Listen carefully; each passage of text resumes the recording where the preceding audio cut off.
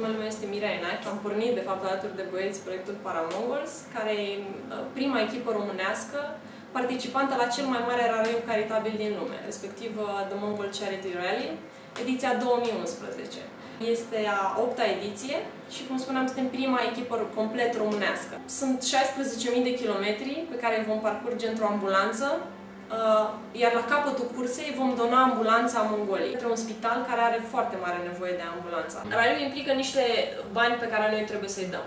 Trebuie să donăm o sumă de bani către uh, Cristina Noble Foundation. Surse de venit, în afară de buzunarele proprii, mai greu am găsit sponsori, pentru că cu tot dragul sunt încântați de proiect, le-ar plăcea să susțină ceva de genul acesta, dar tot se luptă cu, buget, cu bugete de criză. Ambulanța am cumpărat-o din bani proprii, uh, vizele le-am plătit din bani proprii și atunci uh, suntem nevoiți să găsim metode alternative de a strânge bani. Cum suntem tineri și creativi, întâi am pornit tricourile ne-am gândit că ambulanțele actuale sunt de fapt animalele din curte. Și atunci de ce să nu ilustrăm grafic chestia asta?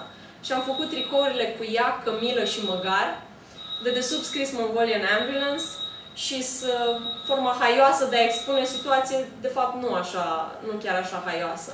Oamenii au fost încântați de grafica tricoului, uh, ne-am mai gândit uh, să, să facem niște uh, portofele de hârtie. După ce am cumpărat ambulanța, am zis, ok, trebuie să facem ceva și cu ambulanța asta. Scoatem bucăți din ea la licitație.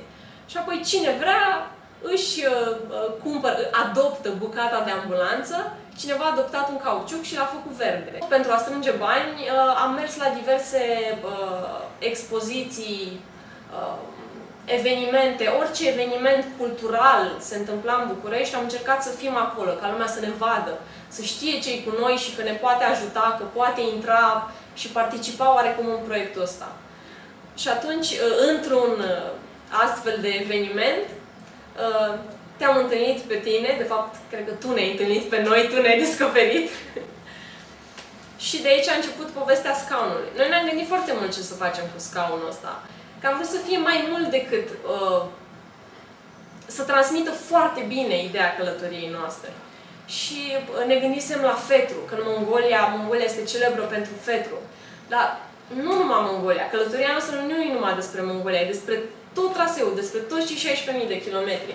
Și atunci uh, ne-am gândit că cel mai bine punem efectiv fiecare zi, fiecare săptămână din, din călătoria noastră să o ilustrăm într-un fel și să o integrăm în scaunul nostru.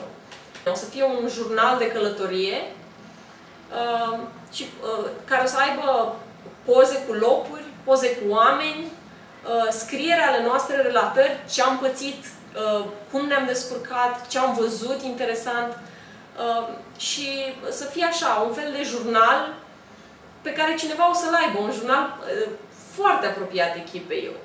O să fie parte din noi, dacă e scris acolo, e făcut în timpul călătoriei a mers cu noi, e efectiv parte din proiect și cine o să, la cine o să ajungă acest scaun, uh, eu zic o să simtă că e parte din, din călătoria asta.